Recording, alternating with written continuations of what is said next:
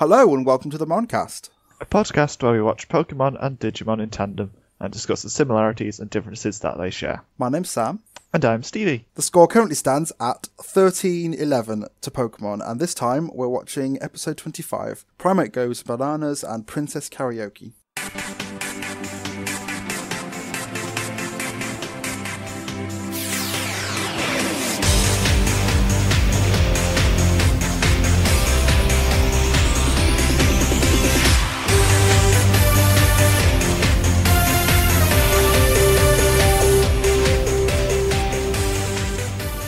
First episode we are watching this time is Primeape Goes Bananas. Ash and the gang are heading along a rocky road when, out of nowhere, a Mankey appears and steals Ash's limited edition poker hat. Suddenly, Team Rocket appear to steal Pikachu, and James kicks Mankey out of the way, causing it to evolve into Primeape. The rest of the episode is spent running away from Primeape and trying to not look into its eyes until Ash remembers he's a Pokemon trainer and attempts to catch Primeape, only succeeding when Charmander uses Rage, a move Ash didn't even know it had.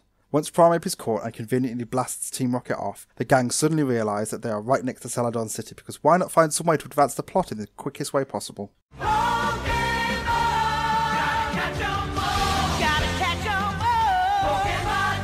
Is that a problem? No, not really. It's much better than them walking for five episodes.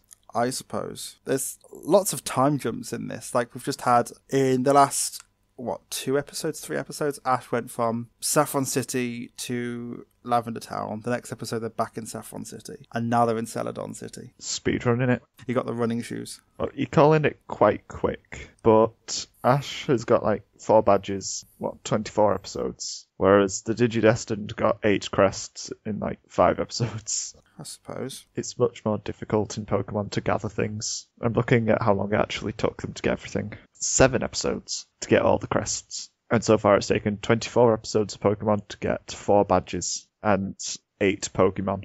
Oh yeah, eight Pokemon. Eight Pokemon and a Haunter. If you count the Haunter. I don't think we do. Okay, so big question I have to ask now. So do you hate Primeape? Yes, Why? because it's bad. And also, it's the first one to be caught since Butterfree got outcast, Written off. exiled. Also, it's just annoying. In what way? It's just going to be really annoying whenever it turns up and disobeys Ash. It's supposed to be funny because it's like, haha, Ash can't control the Primeape, and it won't be funny. It'll just be annoying. There's already some salt here. You don't get kicked in the face and then evolve. It's not how battling works. Uh, excuse me, Abra just evolved for no reason. Sabrina was just like, evolve now because that's a move that exists. Well, that's Sabrina. Sabrina's just all over the place. But in the context of the games, you don't take damage and then get stronger mid battle. You win a battle and evolve afterwards. But this isn't the game though, is it? You just gotta reach for that outrage you do. You're just like, ah, he's got a weird face. Nah. It's annoying. Okay, I quite like Mankey. I'm not as big a fan of Primeape because Mankey's kind of adorable, but I think they're both kind of cute. I did like Mankey. Mankey's fine. Mankey's cool. Primeape isn't, because Primeape got caught. That's how it works. So the episode starts off with Professor Oak, which is a little bit different because the gang aren't walking somewhere or doing a thing. It starts off with Professor Oak, and he's got Ash's Krabby with him, and it dawns on me that Krabby probably has more of a relationship with Professor Oak than it does with Ash. It got caught and then sent to the lab. So that means that Professor Oak has got a bigger relationship with this Krabby than Ash does. I like that Krabby's, like, even though it's Ash's Pokemon, probably doesn't care for Ash at all. I liked just everything with Professor Oak. We got to see some of the Pokemon life that was around his lab. That was cool. We see quite a few species that I don't think we've encountered yet. And it's just like, yay, Pokemon are living creatures. That's cool. and then we get the report from Professor Oak on how all of Ash's rivals are doing better than him, which always makes me happy. I like to hear how Ash is a failure. Well, he's always he's supposed to be the underdog, isn't he? He's supposed to be the one who's not doing the best, even though he wants to be the best. Because if he achieved everything easily, it wouldn't be a good show. He's not an underdog, he's just a loser and an idiot. And he gets things given to him, given to him that much that in one in the last episode, he's like, "Did I earn this badge?" And everyone's like, "Yeah, just go with it. It's fine." Universe keeps taking pity on you, just go with it. It's amazing though, after that conversation when he's like, okay, I need to catch more Pokemon because I suck. You get so incredibly excited, just like, whoa, it's a Pokemon! It's like he's never seen one before. One thing I want to talk about is how Ash seems to reset every episode. I think you've mentioned it in previous episodes, but he doesn't seem to develop as a character. Like when he caught Krabby, that was the last time people said to him, you know, you're not really catching any Pokemon. And he ran away to go and catch a Pokemon, caught one, got excited by it, and then that's it. And he hasn't caught any more since. He had an opportunity to catch Haunter, but he didn't catch it. He had an opportunity to catch any of the ghost Pokemon, but didn't. He nearly caught Jessie. Can I be honest? I actually enjoyed that episode a lot more than I enjoyed the episode after and the episode before it, the ones with Sabrina. I liked the one before it more. You do? I liked the hype it built up, even though it, it then failed. I'm not happy with the payoff, but I like that middle episode because it's kind of cute. Ash hasn't had that drive to catch any Pokemon before. Doesn't seem to have, to have acted upon it. And then out of nowhere, he sees this Mankey, and the Mankey steals the hat, and it's amazing. He gets so excited. Whoa, it's a Pokemon! Mankey's just this little troll. Mankey is cute. And then they do the thing. What are they eating? They're eating donuts. Oh yeah, definitely donuts. They're quite clearly rice balls. No, the donuts. They're not. But I don't know whether it's because I noticed that they're not. Because when I was younger and they said that they were donuts, me being, what, 9, 10 at the time, I was like, oh my god, look at these really cool looking donut things. They look pretty cool. And then as I got older and I was watching, I was realizing, no, they, this is rice. It's quite clearly got rice there. They're not donuts. Rice balls. Also known as donuts, apparently. They mention donuts a lot. Brock calls them donuts twice in one sentence. Every time they call them donuts, it's just hilarious. Every time they call them donuts, I'm like, people would understand if it's a different type of food. You don't have to call them donuts. Their brains won't just explode. What are these things? Ah, mother, mother, what is this? What is the ball of rice? Pokemon isn't set in America. Ah, what's happening? As their tiny childlike minds explode. So after Brock has his little spiel about donuts and how they're donuts and everybody loves his donuts, they're the best donuts ever. A Mankey appears and I immediately realise I actually adore Mankey. Mankey is an adorable Pokemon. It reminds me of when you're a little kid and you can't draw properly and you just draw a circle with a face and just attach stick arms to it. That's what Primeape and Mankey are. Monkey shape. Mankey is adorable. It's got a happy little face. It's most adorable when it takes Ash's hat. Yeah, this pig monkey Pokemon. What are pigs and what are monkeys? Why is it called a pig monkey Pokemon if, if pigs and monkeys don't exist in the Pokemon world? Wouldn't it be called a Tepig Chimchar Pokemon or something? No, because there's only 150 species. It can't be a, a Mankey Mankey Pokemon because Mankey is already a Pokemon, which is a pig and monkey. And that is essentially what they've done to make the Pokemon. They've taken a pig and taken a monkey and just stuck the two together. Not really to great extent. It's more just a monkey with a pig nose. But it's adorable and I, I really enjoy it. So Brock gives it a quote unquote donut, and Ash is like, "Ah, Pokemon, catch it, catch the Pokemon!" And he throws a Pokeball, and then he catches Donut Chew. And I remember this scene, and I remember when I was young, and I remember genuinely laughing at it because he just opens the Pokeball and just there it is. There's this little rice ball stuck in a Pokeball, and I'm like, that's really adorable. That's really cute. How it's not just as simple as finding a Pokemon and catching it. Mankey's like, no, I don't want to be caught.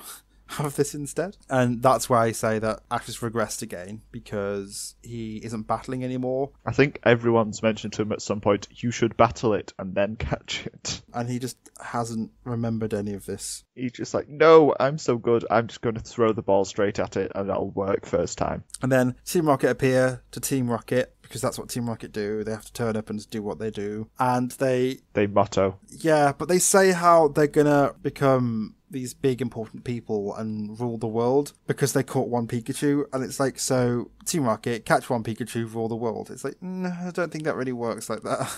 It's like a super powerful Pikachu because it has blown up buildings before. I suppose it has been supercharged because of all the torture that Ash has put Pikachu through. He's not a very nice person, if I'm honest. He doesn't learn from his mistakes and he just tortures his Pokemon. And then one of my favourite things in this episode is when Mankey has got the hat on and it's flipping the hat back and pretending to be Ash. I think that's great. Ash gets so angry in this episode, it makes me really happy because Ash just deserved to be tormented. Gets his comeuppance for being dumb child. And then Ash becomes a little gremlin and starts trying to climb a tree. But he can't because he's dumb child. And then he's thinking about how the hat is from the Pokemon League, but the Pokeball in the advert for the Pokemon League says Pokemon League without the E, and I don't know whether that was a, a spelling error or what, but it just doesn't say it doesn't say Pokemon League, it says Pokemon League without the E. But Ash is such a, a fan of Pokemon, but doesn't know anything about them. Like he says, what's a Mankey? There are 150 of them. Surely, if he's that much of a fan of Pokemon, he would have been able to learn 150 of them. I reckon he has short term memory loss. He's got to have something stopping him from progressing. Ash doesn't learn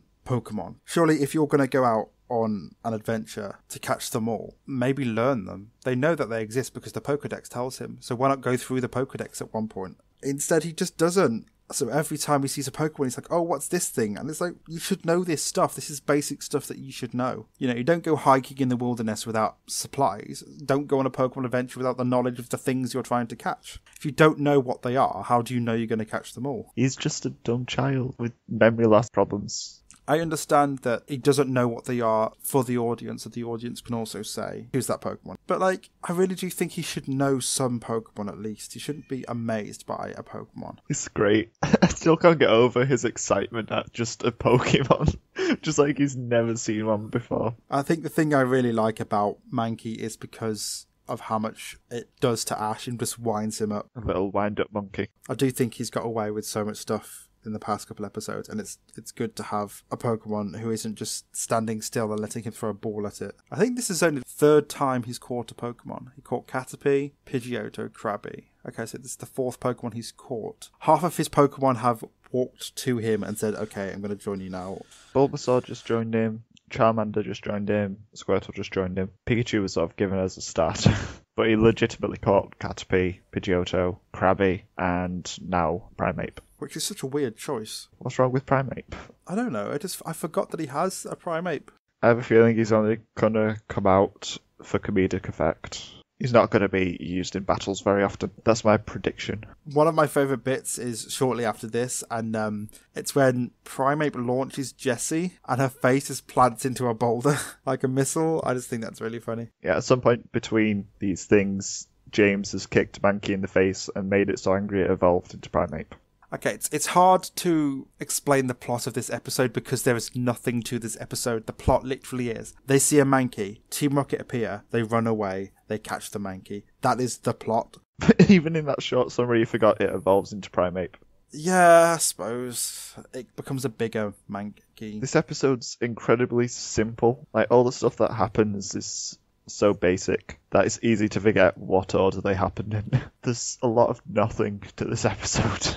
Even the place they're in is a nothing place. It's just the path between towns. It's like a rocky road. It's not got any real wildlife or anything. It's just an open, almost like a savannah, but it's just an, an empty space. An empty space like the inside of Ash's head.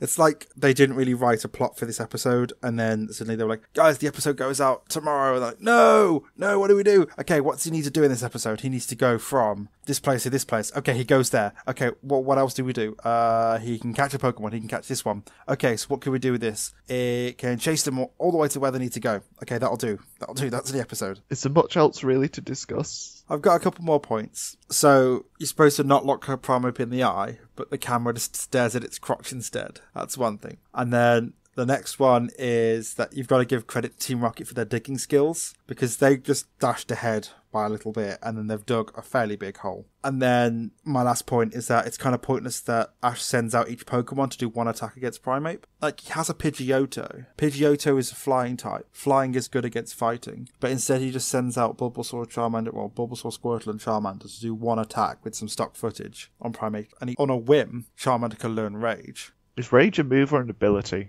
I don't think the Pokédex made it very clear. It's a move, but he wouldn't just use it. Ash would have to say use Rage. I could have sworn it said like Charmander's Rage ability or something. I think it did, but it just it means a move. Yeah, it's a move. It's the more it gets attacked, your attack stat increases with every hit. I mean, it's a normal type move.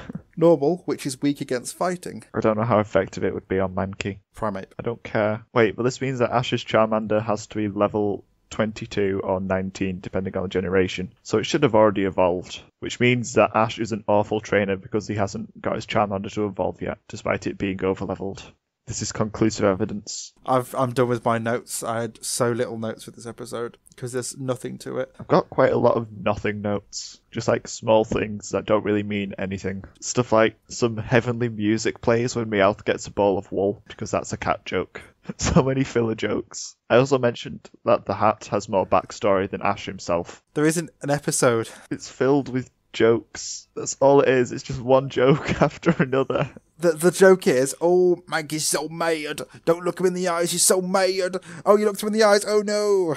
That is the plot of the episode, and it's like, ugh, it's so dumb. And uh, I like the episode. Like, I like the idea of Primeape and him being this angry little person, and I like Mankey. Mankey's adorable. I don't like Primeape. Mankey is adorable. I like Mankey a lot. I have to hate Primeape on principle. I like Mankey's personality. Mankey's kind of playful, and then Primeape just isn't playful and is just angry. Primeape's just annoying.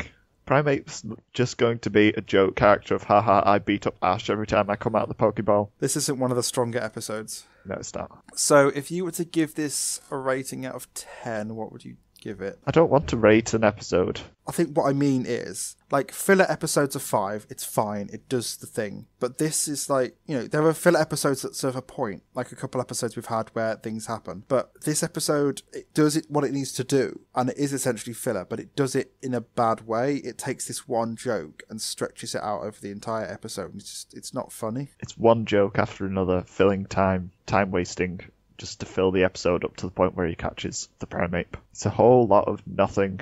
It's donuts, donuts, donuts, donuts. Oh, now it's angry at me. That's pretty much the jokes of these episodes. That oh, these donuts are great. That's not even a joke in the Japanese version. It wouldn't have been a joke, but in the English one, it's a joke that they're not donuts, but just it's donuts. There's this thing. Run away from the thing. Catch the thing. Here we are. We're where we need to be. There is a whole lot of just buying time. This is the Pokemon. We avoid it for a while, then we catch it. Well, they chase it for a while, then they get chased by it for a while, then they fight it and catch it. At the end, the Pokeball catches the Primeape, and then it starts wobbling again, and then it catches it again. And that's just a metaphor for the whole episode of it's just the same thing again and again and again to buy time. I, I'm done with this episode now. We have to pick favourite things. My favourite thing is Mankey because Mankey's really cute. It's got a little snout. It's adorable. And it also just picks on Ash, which is fantastic. I agree. Mankey is the best thing in this episode. All the stuff with Mankey at the beginning was nice. It was cute. It was funny. I liked seeing Ash get taunted. But then when it when it evolved and it just carried on going and became Primeape, which I have to hate, it just kept going. The stuff with with Mankey's kind of adorable. It would have been great to have a little bit of time where they're traveling, and every once in a while they just see this Mankey on the on the top of the hill or like around the corner or in a tree hiding from them and then they're trying to be friends and then it steals Ash's hat and runs away and they've got to go and chase it down. or if they just keep trying to set up traps and they keep failing, like Wile E. Coyote and Roadrunner. and then a trap succeeds and they get the hat back and then it evolves because it's annoyed and it becomes them running away from Mankey would be a lot more interesting from them being these people who are trying to catch this Pokemon to the Pokemon trying to catch them to get the hat back. And then Ash realizes, you know, he's got to catch this Pokemon because it's strong, it's powerful, it, it's a, a fighting type, it's something I haven't got yet. You know, I can I could get this for my team, it'd be a really good benefit. Instead of this thing that happens. It's just on autopilot. I didn't really like it that much. It was simple, it was pointless. Why has Ash got to be so incompetent? It shouldn't take an entire episode to catch a Pokemon. It takes like two minutes in the games, not 22 minutes. The second episode we're watching is Princess Karaoke. Tai and Joe disprove our only two to pedalo theory and find a fancy castle with frantic Gekomon and Otamamon running around at the beck and call of the princess, who is of course Mimi. The Gekomon's leader, Shogun Gekomon, has been asleep for 300 years, and only Mimi has the voice to sing a song, a song to wake him up. She uses this to blackmail everyone into waiting on her hand and foot, as she indulges in the luxury lifestyle she's dreamed of. She kicks out her friends that tried to get her to leave, and then locks them up when they come back to try and trick her into singing, Palmon included.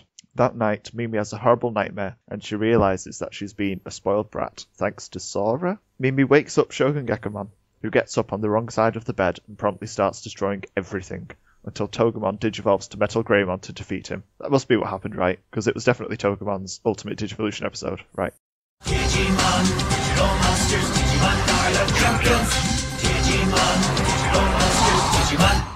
So you can tell pretty much from the start that it's going to be Mimi because they go into a castle or it's a palace and it's got pink things everywhere. And, you know, not to stereotype, but that is kind of Mimi's thing pink and, and luxury and stuff. And Mimi's the only one left besides Sora who we've just seen hiding in the background. I suppose, yeah. Unless they find Kari. Who? So I don't know about you, but like Mimi looks really cool in that dress. Mostly because her cowboy thing to me looks a bit weird. I liked her hair as well. You don't really see her without her hat on unless she's naked. So it's good to see her in a different outfit that isn't naked. We don't see her naked, like, ever. We see her and Sora bathing, and then Gomamon swims past in the Devimon episode. Oh yeah, you're right. We've seen her without a hat when she's been having a bath twice. Yeah, so it's nice to see her without her hat on and without her usual outfit. It's cool. It looks a little uncomfortable. but it's pretty. And we discover that she's living there as a princess because reasons. What? Why else? Would, what else would she be doing in this world? I would love to have seen her become almost feral. Like she's become kind of wild, and she's hunting for things herself, and she's a bit crazed. I think that would have been a good character development for for Mimi. She's gone. You know what? Sod this. I cannot deal with this world anymore. Palmon's abandoned her and gone searching for help because she needs help, and Mimi's like made uh, a Garurumon skin suit to wear, and she's living in like a tree house, and she's attacking things as they go past and defending her territory. You would love that. I would love an episode like that. You would love an episode where Mimi just acts like a dog. No, but an episode where Mimi has, out of everybody, embraced this world for what it is, decided, sod this, I can't deal with being in this crazy world, it's all insane, I better go insane. I don't want to see Mimi be feral. I don't think it would be a very good episode. You wouldn't want to see her trying to attack Tai. It'd be horrifying. and then like seeing them both and then getting really angry being like where have you guys been? Tai where did you go? Everything's gone wrong. What do we do? Everybody's disappeared. This world is insane No. it would have been good to see mimi adjust to this world She has adjusted to this world. She's adjusted to it by becoming the princess of these Digimon. She's adapted it to her lifestyle. yeah like but then the guys get really annoyed at her and insult her because she's being selfish and to be honest like the gekomon have selfish reasons themselves shogunmon who is shogun gekomon not shogunmon lost a singing competition and decided to go into a coma. I'm just saying that's a little bit dramatic. So what they need is they need Mimi to sing, and she's actually got a really good singing voice, even if the song itself is awful. Uh, the lyrics aren't the best. Yeah, Mimi seems to have become this stuck up, needy person who wants all of these things, and everybody seems to hate Mimi for it. And personally, I'm on Mimi's side because she didn't choose to be dragged to the digital world. She's in a place where she has no idea about the world or the rules of the world. She doesn't want to be there. She's made it quite clear that she wants to go home. We've had that episode with Izzy before where she had that breakdown and ran into the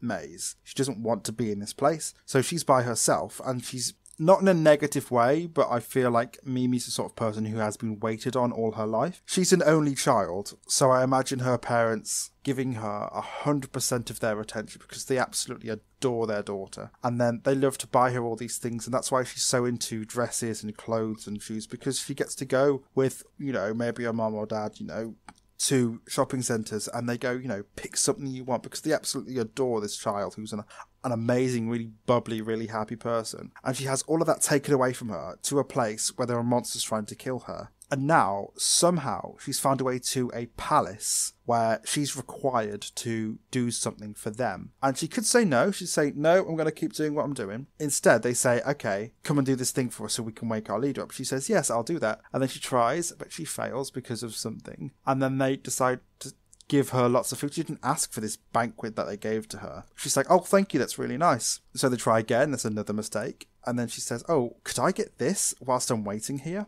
And it escalates and escalates and escalates. And while she's not innocent in this, she shouldn't be the only one being called out for acting this way. You know, the Gekomon are filling every single request because they want their leader to wake up. A leader who is an awful Digimon. I don't get why he needed to be woken up because all he does is attack people. But, you know, she's gone from surviving in this world and spending, if we listen to what Izzy said, you know, a couple months by herself wandering this digital world where there are monsters and creatures trying to destroy her and kill her and, you know, cause her harm. And then she finds this one little safe haven where people are willing to wait on her. I mean, I'd happily stay there. If it means, if I've got to sing a song to a sleepy frog, but in the meantime, I'm being waited on hand for. I might be tempted to stretch it out a little bit longer because it's not quite right yet. Because as soon as she sings that song and he wakes up, you know, there's a chance that she's going to get kicked to the curb and sent away. But at the moment, she's being treated really well. And, you know, good for her. If she can do this and find this loophole and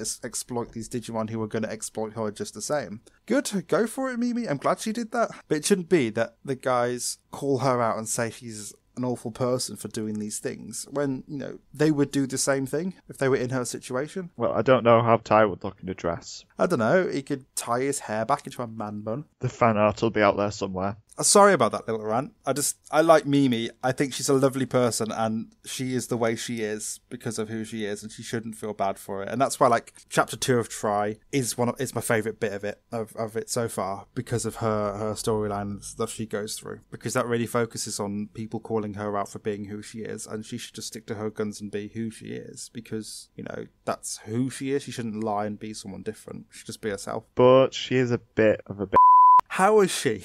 Well, she gets incredibly angry at them. She stops listening to a Palmon, who's her best friend in this world. I could see her being angry at Tai and Joe because they essentially left her alone. Tai left. She can be angry at Tai for leaving, not for too long, but I, I could see her being angry at him because he just disappeared, and when he disappeared, the group split up. Who left first? Was it Sora left first, and then I think it was Mimi. I think they probably left in the order that we found them in. yeah, maybe. She's just really angry. I I can understand why. You know, she's she's found this little safe haven for herself, and there's a potential that this safe haven's going to crumble around her. And yeah, she does act a little bit spoiled, but I think it's justified. Yeah, she's allowed to like this life of luxury that she's got now, but she's still being really selfish and rude and shouting at her friends. I mean, what she's doing isn't right. I, I, I understand that. But I do feel like there are other people doing bad things in these episodes and they don't get called out on it the way she does. She's a bit whiny still. She's demanding, certainly demanding. Yeah, definitely demanding. Also spoiled. So she refuses to sing. Okay, that's fine. And then Tai begins to sing, and Joe sings, and they're both really bad, and they both need auto tune. They're all really bad at singing, but it's so funny. I don't know whether it was intentional or not, but I feel like their type of singing matches their personality quite well. Like Tai's is just a burst of really bad loud noise, and then Joe's is monotonous but sort of calculated, like he's keeping on tune, and it matches their personality in a nice way. It just makes his lyrics really specific. So then Mimi has a fight with Palmon and calls Palmon a spoiled brat, which, you know, that's too far, but I feel like Mimi is having another panic. So she's just lashing out at Palmon because after everybody left, this monster, which she's known for not too long, is her only safe point. And I feel like she just lashed out at her because she had no idea how to respond because of the situation she's in. I do think it got out of hand before she realised how bad it was. And now Mimi's in this situation. She just doesn't know how to deal with it. She could try listening to people. That's the best way. She goes to sleep in a huff and has this really convoluted dream with Sora. Like, how does Dream Sora know that this is gonna sort Mimi out? I think it's supposed to be real Sora, but real Sora takes the credit for the dream.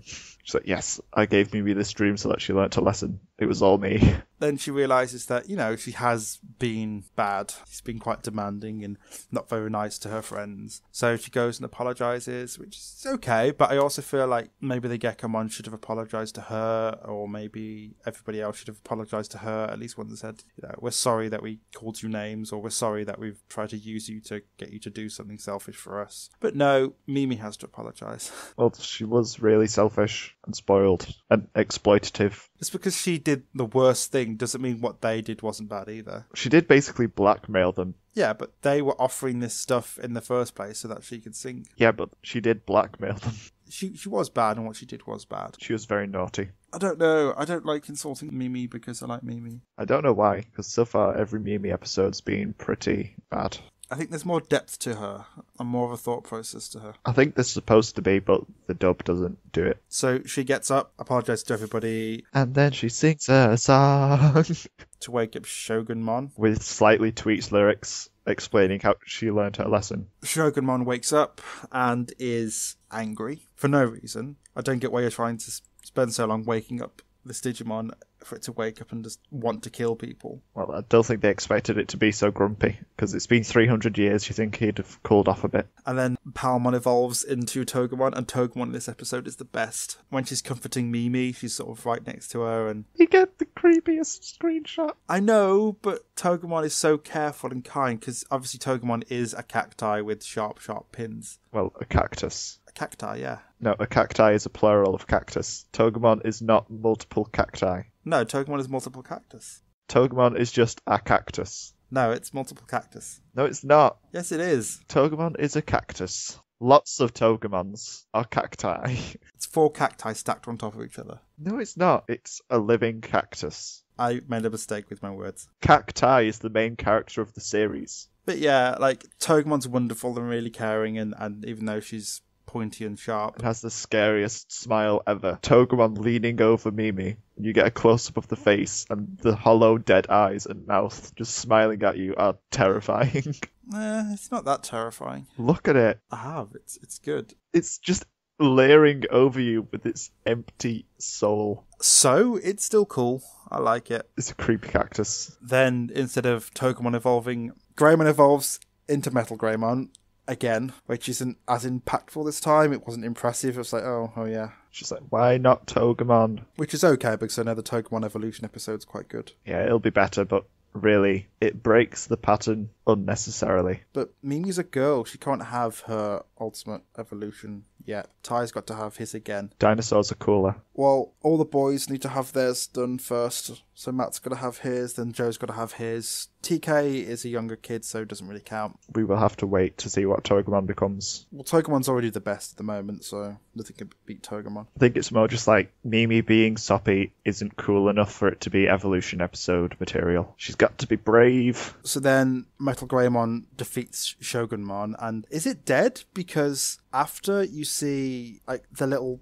tail bit sticking out of a pile of rubble, so it's not been deleted. So what happened with it? Have previous Digimon they've killed been deleted? Yes. I can't think of it happening very often. I don't think that Digimon in this series dematerialize. Okay, but even if they're not, that means there's a corpse in a pile of rubble and they're just joking whilst looking at the dead body. And the Gekomon aren't concerned that their friend is evil now. because he's dead now.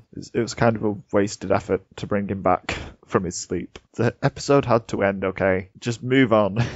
Any more thoughts about this episode? when they were trying to trick Mimi into singing, they were using like, a recorder. Where do you find a recorder in the digital world? In the recorder shop, which will probably be in a cave somewhere, because why not Digital World? they just conveniently have one. It's fine. I don't think they have any Brock in the group either with the magic bag. It's for plot purposes. It's okay. It doesn't make sense. It shouldn't be there. Because where do you get a karaoke set and a microphone? I suppose this would be the place to find it in the castle full of musical Digimon. Oh well. They had spotlights as well. They had a whole lot of Earth technology. Yeah, because it's the Digital World. Why not? Other things I didn't like. There was a lot of repeated footage when the Gekomon and the Otamamon were introduced. There was so much running. Just again and again, and that was just lazy. And the last thing is that we get a shot of Tai and Joe and Agumon and Gomamon all on one pedalo, which disproves that you can only have one person and one Digimon per pedalo, which confirms that Matt did not need to leave TK behind, making Matt abandoning him entirely his own decision. Making Matt the worst. It's just been proven that Matt is the worst and that everything with TK being left alone was just completely redundant and stupid. So we can hate Matt even more. Yes, well, I think he's kind of awful anyway. Favourite thing? I'm going to say Palmon. Okay, mine was Togemon. Well, mine's Palmon because Palmon is the good character out of that pairing. I don't like Mimi, but Palmon speaks sense. And Palmon in that dress is quite good. She's got a little dress similar to Mimi's. I just like how Palmon just tries to knock sense into Mimi whenever she's being dumb. Because the writers try and make her dumb, and then Palmon's like, No, I will save you, Mimi. Be a good character, please. Also, when Palmon's behind bars, it looks like she can just slip between them anyway. Probably. Or she can get the keys with a poison ivy. No, she's just sleek enough to fit between the bars. So it's kind of pointless. I think my runner up favourite thing has to be the singing and the dancing, though, because that was hilarious. It was it was good. It was fun. Anyway, overall thoughts. It's an okay episode. I think it's the best Mimi episode yet, even though it's still a pretty bad episode. Yeah, I do feel it's unfair the way they're one sided towards her, even though she's not the only one doing bad things. I think some of it's justified. It does get taken a bit too far, and she does become quite demanding. I think Tai and Joe are thinking about the big picture, whereas Mimi's just thinking about herself at that point. Also, her crest is the crest of sincerity, and she's not being sincere. Well, she's being sincere. She's finally being honest about how much of an idiot she's been. I think she's not being sincere to herself. Like, she's not being the person she wants to be. She's become this needy, selfish, awful person. Yeah, and then she stops. That's what the whole apology and confession thing at the end of the episode's about. And that's when she start like she realizes that's she is. It's annoying that every Mimi episode also has her being accompanied by swarms of green slimy Digimon that want to worship her. Can we have a Mimi episode without green slimy Digimon, please? We will eventually. One day. Now it's time for Mono a Mono, where we talk about the similarities and differences in these episodes. So let's start with our monster of the week. My monster of the week is Krabby, Okay. because Krabby's clever and it knows that it needs to stay with Professor Oak in order to avoid my hate. And also, it's just cool. I like Krabby when it has its little interactions with Oak and it steers clear of Ash. I, I like that little relationship they've got. It's adorable. It knows how bad Ash is. Krabby is doing exactly what I would do in the series. I would just stay away from Ash and hang out with all the cool Pokemon back at the lab. My monster is Princess Palmon because Digimon in clothes is the cutest thing. Patamon is still cuter than Palmon though. Yeah, definitely. Can you imagine Patamon in one of those little sweaters you can get for dogs or cats? It'd be a little tube. So, which episode do you think had the best storyline? Digimon, Pokemon was there wasn't really a storyline. Digimon was a bit bad, but it's just that's because of personal preference. Like I wasn't a massive fan of how they were towards Mimi, but then that's just a dub thing, and it is kind of justified. You did sort of justify the way she is to me, and you did understand why she was being bad. There's a lot of people just being bad. Similarities We need to say why Pokemon's was worse. because there isn't a storyline. There's a Pokemon. That's it. It just goes A to B and fills the time for 20 minutes. They literally run away from the plot. Okay, similarities. I have got practically nothing apart from there were characters with hats. That's literally the only similarity I could come up with. These episodes are so wildly different. Well, my theme this episode Is running away from things. Mimi runs away from her responsibilities, and all the kids run away from Mankey slash Primeape. No, its expectations are living up to them because Ash is expected to be a trainer and catch Pokemon, something he hasn't done in a while, and then he gets told about it by Professor Oak and it gives him that little boost of, oh yeah, I'm supposed to be doing this, and then he catches Primeape. And Mimi is expected to sing to awaken Shogunmon, but it's something she does, but she also becomes demanding and something the guys think is something they ex- expect she would do, but she also becomes snarky and, and mean towards everybody because of that. And that's expectations. As you said, there, there isn't a lot in common with this episode. It's people just running away from things. It was two people who were supposed to do a thing and then failing to live up to those expectations, and then overcoming that and then living up to those. Which episode did you enjoy the most? Digimon. Yeah, me too. I like this episode a little bit. It had more to it than Pokemon and was also funnier because of the bad singing and dancing. And the jokes weren't the entire episode. Yeah, it's not the one joke. There was more complexity to it. It wasn't just, oh, we need to wake up this thing. It was, we need to wake this thing up. But also, Mimi's here, and also the other two are here now, which means that uh, the story's progressing. And also, she's kind of gone off on, on some sort of thing. How do we solve this to solve this to solve this? So, Digimon gets the point, which means the score is 13 12 to Pokemon. Join us again next time where we'll be watching episode 26. Sora's Crest of Love and Pokemon Sensation. You can listen to more of us on SoundCloud, iTunes, or Stitcher, where we like getting reviews and comments. And you can message us via our Facebook, Twitter, Tumblr, with the will thread, and email, which are all linked in the show notes. Thank you for listening. Bye bye. Bye! Bye. Butterfree! I knew you were going to do it.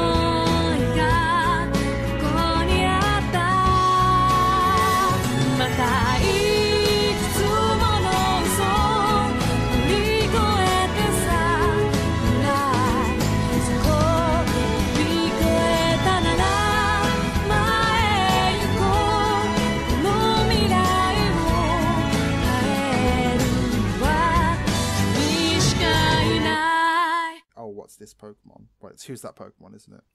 Unless it's the knockoff brand. Who is this Pokemon?